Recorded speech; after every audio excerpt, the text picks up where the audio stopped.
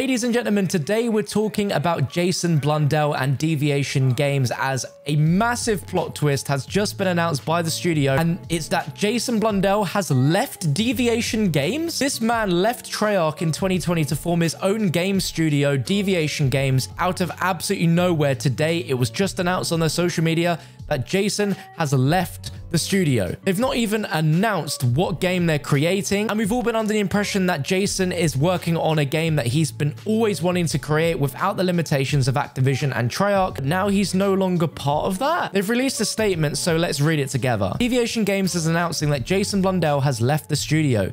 We appreciate the contribution Jason has made, and we wish him the best in his future endeavors.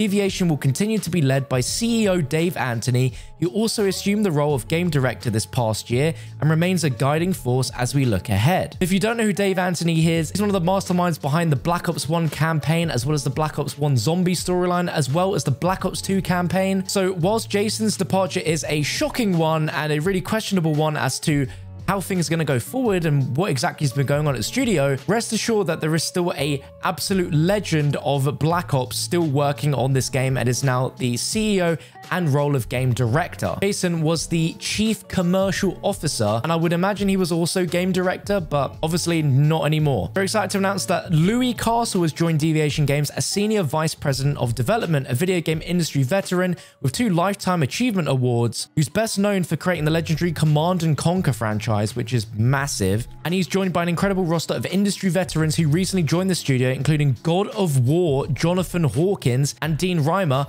and Call of Duty Black Ops guru Tony Flame. And if you guys don't know who Tony Flame is, he is the legend that has been behind multiplayer for World at War, Black Ops 1, 2, 3, 4, Cold War. Him leaving Treyarch a month or so ago was a huge announcement and a massive, massive departure for the Treyarch studio. So there's still massive talent at the studio, and they make sure that you realize this in the final bits of their statement, saying this plethora of talent makes Deviation uniquely equipped to continue leading the ever-evolving games industry into the future, including with the continued development of our previously announced groundbreaking AAA original IP, which you still don't know anything about. Now, with this massive news that he's left Deviation Games, the real question to ask is, well, what on earth could he be doing next? And I think the first thing that people will draw to, the first major thing that they might think, hang on, could this be a thing that he could be doing this?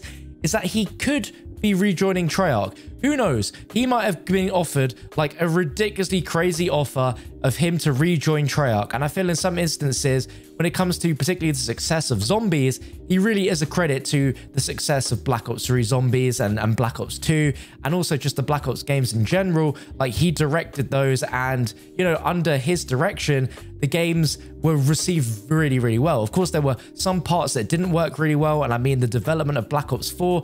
Now that there's been a lot more that's been revealed about over the past few years, has shown that maybe sometimes his direction hasn't always worked. There's definitely been times where it's clear that when he's been working as director on these games, they've been really, really successful.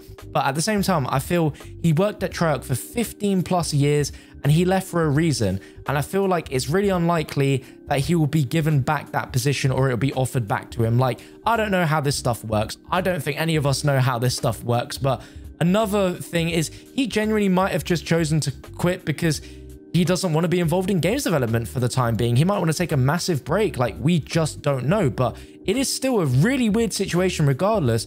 I think in an ideal world, if we heard the news one day in the next few months that Jason has joined Treyarch again, I think that everyone would lose their marbles over that news. It'd be absolutely insane. But I think realistically, we just should not expect that to be a thing because it's just so unlikely and unrealistic. But I genuinely don't know what he could be doing next, and I don't know if we will find out. He's such a private guy, he doesn't really have social media, doesn't really post about anything, but the main thing which I feel is a bit of an issue now for Deviation Games is that because Jason Blundell was no longer at the studio, he's no longer tied to this project, that suddenly the public perception and the care and attention that there has been towards it is going to be a lot less because people see Jason Blundell's tied to X project. I'm going to be interested in X project. And now that he's not, there's no reason to care, am I right? But I think we got to remember and can't forget that the amount of talent that's at that studio that have come from Treyarch should not be understated or forgotten about, especially with Tony Flame in the last month or so.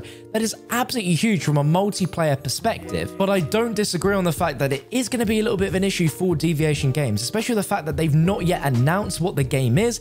And from all we've seen from Jason talking about Deviation so far, it seemed he was really passionate about this. And we don't even know what the heck it is. And now he's no longer working on it. So it's just a really puzzling situation. But I'd love to know what you guys think of this all in the comment section down below. It is kind of crazy to think that Jason Blundell left Treyarch and then we heard the rumblings of Deviation Games. It was announced, and literally ever since that was announced, the zombies community has been anxiously awaiting with bated breath for a single bit of news about what their game is going to be.